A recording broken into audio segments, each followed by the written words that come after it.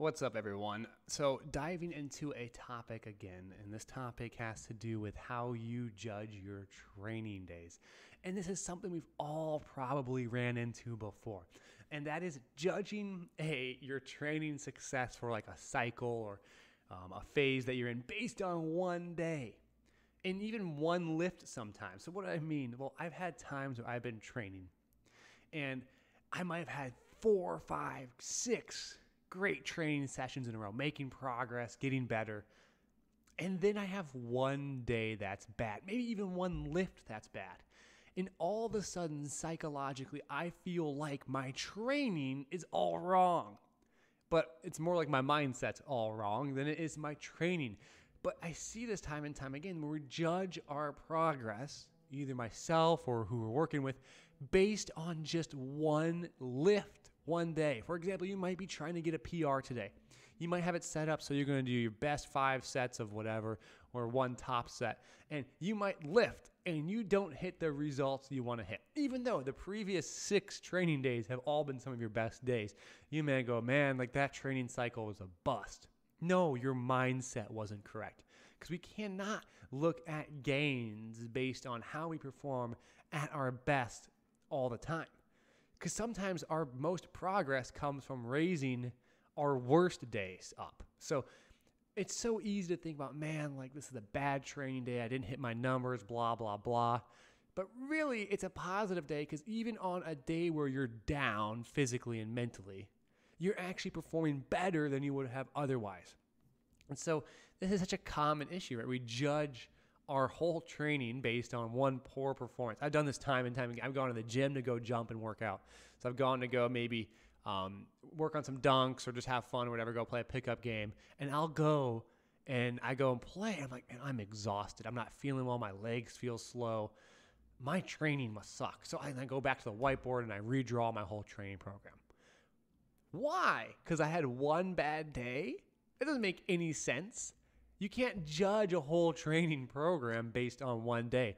Maybe you go into bench and you're feeling great and you're going to go try and go for 315 or whatever your new PR might be and you just miss it.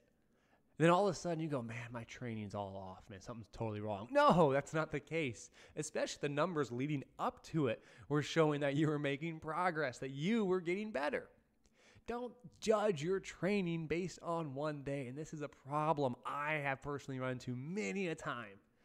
I judge my training strictly based, my whole week, month, cycle, performance phase, whatever I'm in, based on just one poor performance. And that's so silly. Maybe that's the competitive athlete in me. But it really is a dangerous mindset because what that leads to is constantly trying to find a solution to that one bad day. And so you start bouncing around from program to program, left, right. And next thing you know, you make less progress and less actual progress too because your consistency's gone way down. So at the end of the day, don't try and judge your training just based on a single like lift or session. Think about it as a whole think about your gains in over a period of time. Actually look at it and think about why you might not have performed well that day. Were you tired? Did you not eat well the night before? Maybe it was just an off day. That happens because we cannot make progress linearly. We don't make gains every day. It goes up and down and back and forth. And some days you feel horrible, and some days you feel great, and you feel like Superman. You can lift the house, and some days you don't feel like you can lift anything at all. But the point is, I'm trying to get at is we need to look at how we ourselves are judging ourselves. And sometimes that mindset can get in the way of our actual progress because you might be on a great training plan and one bad day sets you back mentally. It didn't set you back physically, it didn't set you back performance wise. It has no reflection on the entirety of the program you just did, all the wonderful progress you have been making. It's simply simply is just a bad day and all of a sudden you're taking it out of context. And so I don't know how many times I've done this. I mean, probably upwards of 25 times, 30 times I've gone in and had a bad day. oh man, man, well, must be my training. I need to reevaluate what I'm doing in the weight room. I need to reevaluate. And then I just bounce from program to program. Then I put pressure on myself to, you know, find a better program, try and mix things up. Don't I do things that don't make any sense. Um, and so think about progress realistically over a month, reflect on some of your good days and some of your bad days. Are your bad days better than maybe some of your old bad days? That's progress. Sometimes your bad day is better than your previous best day, but because they are the same, you judge your abilities simply as equal and no progress has been made, but you don't even contextualize that given day. And so, time and time again, I see this personally myself, I've seen with others as well. People who bounce around, why didn't I make this progress in six weeks, and five weeks, and three weeks?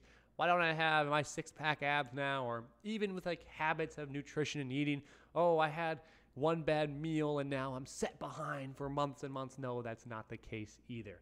So, these are things you can think about. Hopefully, that uh, you don't make the same mistakes I do. Um, because ultimately, how we judge our program is how we have the ability to assess its effectiveness and determine whether or not it's actually working. And if we're not judging its effectiveness appropriately, then we'll never know we ourselves are making progress in the way that we hope so and think so. So, just a little tip, word of advice, something that I've run into, and something that hopefully you can learn from and make a difference to you and some of the uh, uh, your training goals that you have going forward. So I appreciate you guys listening. If you have comments or questions, let me know, and I hope you all enjoyed.